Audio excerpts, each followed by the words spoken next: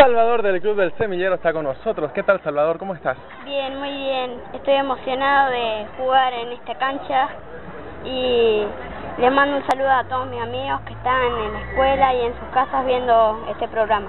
Es un torneo muy grande. ¿Cómo te sentís? Muy bien, emocionado. ¿Ya cuántos partidos has jugado? Eh, en esta cancha solo dos. Solo dos.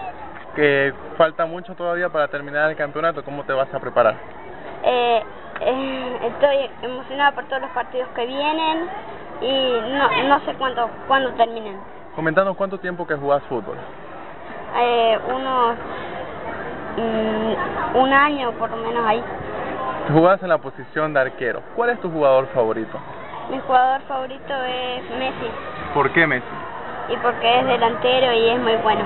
Muy bien. También tenés el apoyo de tu familia. Tu mamá está presente en este momento. Sí. ¿Qué Es- le decís? eh, bueno, que la pase bien y gracias por venir.